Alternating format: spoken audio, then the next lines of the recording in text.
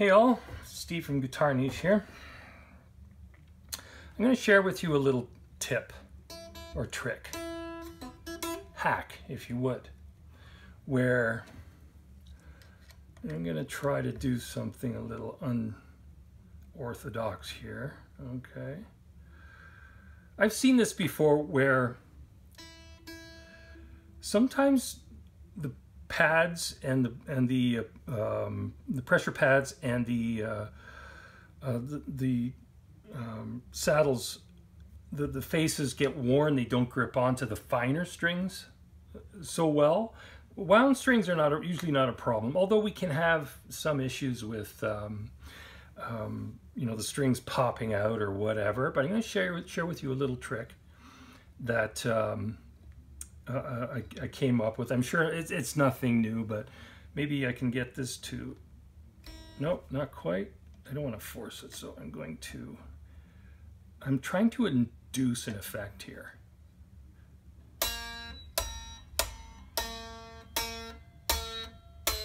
Maybe you have an instrument where this, the, the pitch on, on your locking um, bridge or your, a string on your guitar with a locking system is continually dropping.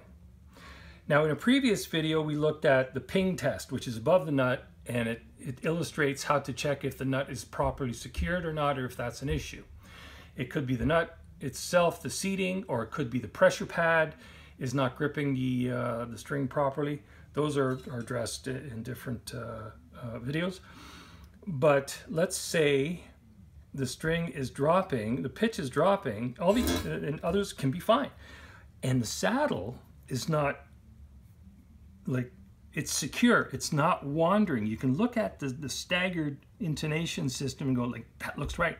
It hasn't moved. Sometimes these move, sometimes they, you know, through uh, temperature changes and wear and tear, they loosen up and the, the, the actual saddles can creep up and stuff like that. And this ladder pattern that you'll see in proper intonation, that's a dead giveaway that if, if that is consistent day after day, week after week, month after month, etc., and then it looks out of, out of place, that's an indicator as to where a problem may, may, uh, may exist. But in this sense, in this case, I'm intentionally showing you how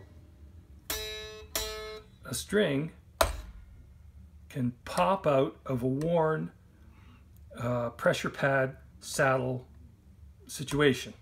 So you see how, I hope you can see this. So there's a little curl on the end there, and that's normal. I mean, I mean, it is what it is, right? But what I'm gonna do is I'll show you a trick. Sorry, it's taking a moment to get to the point here. But I'll show you a trick to get around uh, a worn clamping situation as such. Okay, so anyway, I just cut the, the string back so it's like somewhat normal on the end. I'm just going to take that last eighth inch or so and just using a, a pair of needle nose here or whatever whatever tool you have handy. I'm just going to double that over Sometimes it can be a bit of a problem to get these things to coordinate. There we go. So uh, what I did was I took that eighth inch and I bent it back. What I've done is effectively doubled the surface area of that string.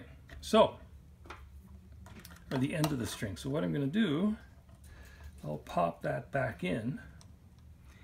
And 99 times out of 100 or better, you can bet that that extra meat on the end of the string is gonna save the day and you will have no issue with that thing popping out again.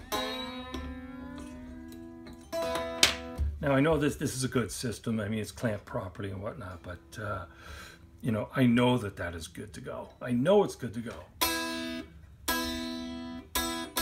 a little just stretching the string. Anyway, hope you enjoyed that. If you have an old older system with worn parts like that, there's ways around it to uh, get these things to, to, to function. That's a workaround for, uh, for a slipping string. Just bend the string over about an eighth of an inch or so, double it up, double the surface area, put it back in, clamp it down, good to go.